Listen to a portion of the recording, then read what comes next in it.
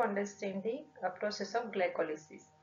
In the pathway known as the glycolysis, the 6-carbon sugar glucose is metabolized to two molecules of the 3-carbon compound pyruvate.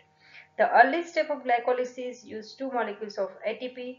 Four molecules of ATP are then produced in liter reaction for a net gain of 2 ATPs per glucose. Additionally, two molecules of NAD plus are reduced resulting in two molecules of NADH. Let's look again at the two parts of glycolysis. The first part consisting mostly of energy consuming reaction and the second consisting mostly of energy producing reaction.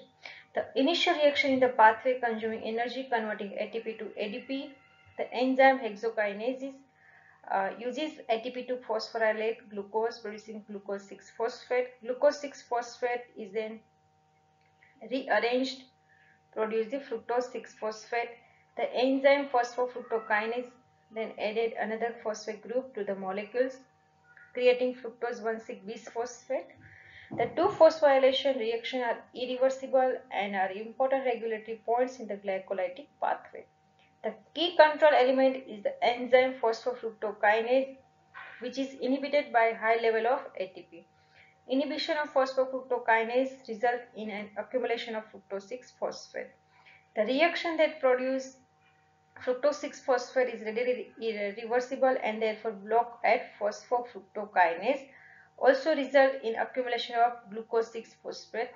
High level of glucose 6-phosphate in turn inhibit the enzyme hexokinase Thus, when the cell has adequate supply of metabolic energy available in the form of ATP, the breakdown of glucose is inhibited by the inactivation of these enzymes.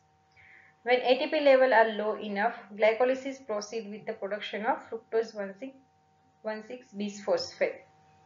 Cleavage of fructose 1,6-bisphosphate yield two molecules of the 3-carbon sugar that is the glyceraldehyde 3-phosphate. Glyceraldehyde 3-phosphate is oxidized to 1,3-bisphosphate glycerate.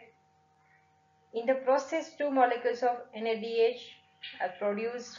One of the phosphate group of 1,3-bisphosphoglycerate has uh, very high free energy of hydrolysis. So, it is used in the next reaction of glycolysis to drive the conversion of ADP into ATP. The resulting compounds is 3-phosphoglycerate 3-phosphoglycerate is then converted to 2-phosphoglycerate. The next reaction produces a phosphoenol pyruvate which is then second high energy intermediate in glycolysis.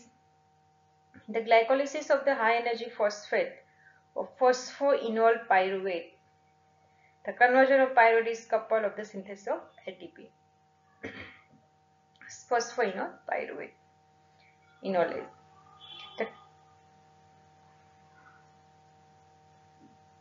Now the pyruvate kinase, the phosphoenolpyruvate converted to pyruvate. In total, 4 ATP are synthesized from each starting molecule of glucose. Since 2 ATPs were required to prime the initial reaction, the net gain from glycolysis 2 ATP molecules. In addition to producing ATP, glycolysis convert 2 molecule of NAD plus to NADH. The NADH then serve as the donor of electron for other oxidation reduction reaction within the cell.